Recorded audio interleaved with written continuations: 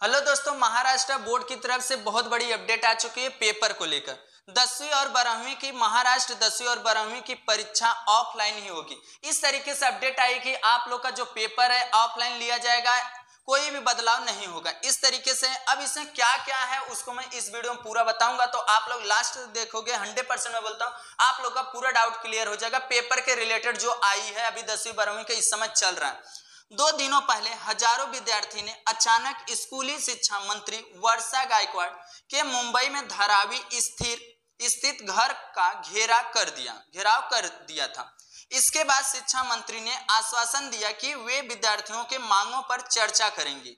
जो विद्यार्थी की मांग है, उससे चर्चा करेंगे, लेकिन फ़िलहाल यही तय हुआ कि परीक्षाओं परीक्षा के संदर्भ में कोई भी बदलाव नहीं किया जाएगा। परीक्षा ऑफलाइन ही ली जाएगी। ये अपडेट आज के डेट में आया था, छह बज के उन्नीस मिनट पे। तो मैं आप लोग को इस वीडियो में, के माध्यम से आप लोग को ये अपडेट दे रहा हूँ।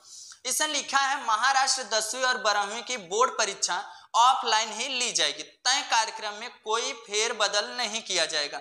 यानी परीक्षाएँ तय टाइम टेबल के आधार पर ही ली जाएगी। यह जानकारी विश्वसनीय सूत्रों के हवाले से दी गई है। मंगलवार को शिक्षा मंत्री वर्षा गायकवाड़ और महाराष्ट्र के राज्य शिक्षा बोर्ड के अध्यक्ष और पदाधिकारियों के एक अहम बैठक में यह फैसला लिया गया था। दो दिनों पहले महाराष्ट्र के अलग अलग शहरों में हुए ऑनलाइन एग्ज़ाम और परीक्षाओं की तिथियों को बढ़ाने के मतलब पोस्टपोन्ड करने का मांग को लेकर हज़ारों विद्यार्थी सड़क पर उतर गए थे।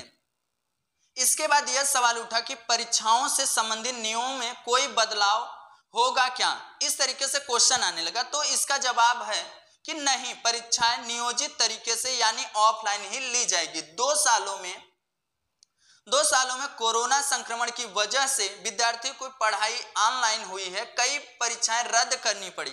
काफ़ी नुकसान हो चुका है। अब कोरोना संक्रमण कम हो गया है। ऐसे में ऑनलाइन एग्ज़ाम लेने का कोई वजह नहीं, इसलिए परीक्षा ऑफलाइन ही ली जाएगी। ये हुआ और वो भी जो टाइम टेबल आया, उसी समय पे। ये था बोर्ड की तरफ़ से, महाराष्ट्र बोर्ड की तरफ़ से अपडेट था।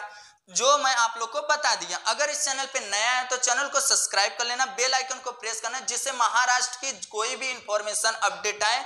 सबसे पहले आप लोगों तक पहुँचे। Thank you all my friend जितना हो सकता है इस वीडियो को शेयर करने की कोशिश करना, जिससे और लोगों के, जो बोर्ड के रिलेटेड कोई भी डाउट है, वो क्लियर हो जाए।